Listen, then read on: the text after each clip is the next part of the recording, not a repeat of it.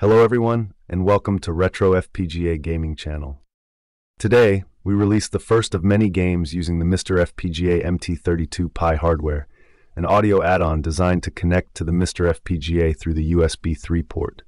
This add-on consists of the Raspberry Pi 2 and emulate the old and fabulous Roland MT32, the MIDI synthesizer module. The inaugural game chosen for this honor was Indiana Jones and the Fate of Atlantis.